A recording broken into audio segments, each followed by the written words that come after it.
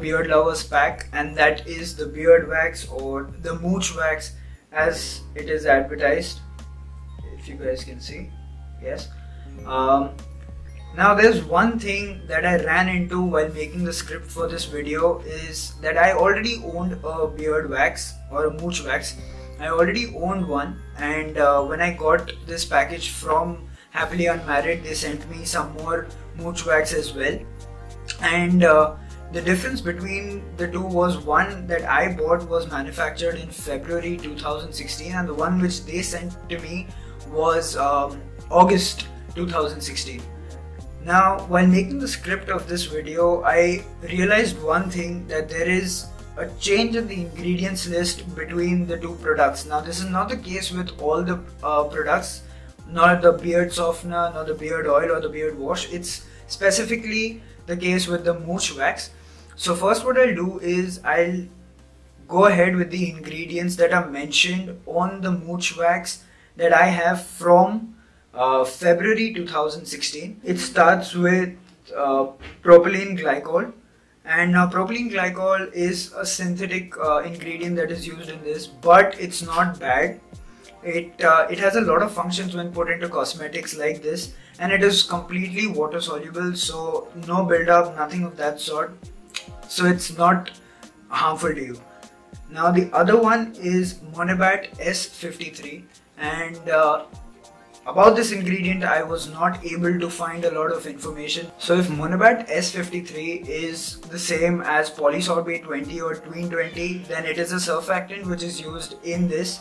Now I don't uh, see the use of a surfactant in a mooch wax. Now uh, maybe some of you who have any information about this could clarify it in the comments down below. So moving on to the next one is Luviskol VA64W. Now this is a film forming agent and this is what uh, gives that hold or adhesiveness to your hair.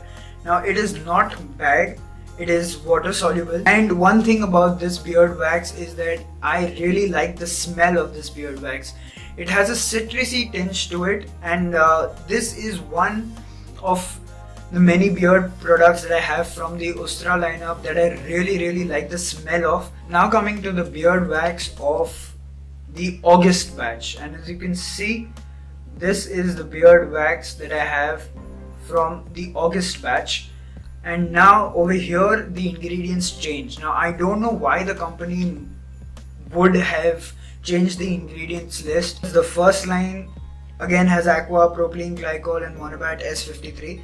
Uh, that is the same. What changes is Salcare SC240C. Now Salcare SC240C is a polymer and uh, this provides detangling effect and uh, ease of combing. When you apply this wax, you can still easily comb your beard now another one is Neospec MC and this like Monabat S53 I couldn't find a lot of information about. So if some of you can find any information about this ingredient I would thankful for that. And uh, the other one is BioStyle XH450 now this is an alternative that they've used to Luviskol VA64W now it has the same function as that ingredient and that is for film forming and adhesion to your hair. So that is the same. Then there's kaolin which is used and uh, kaolin is a very, it's basically a clay and uh, it is very very nourishing for your skin. So a very good and essential oils is the last one where it is mentioned on the ingredients list. Now so what I can see from both of these uh, formulations is that they've not used a lot of harmful ingredients to just get away with the cheap uh, ingredient list that many other uh, manufacturers use.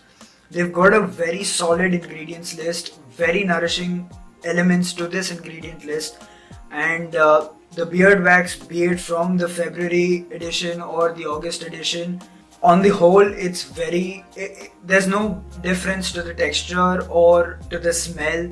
There's no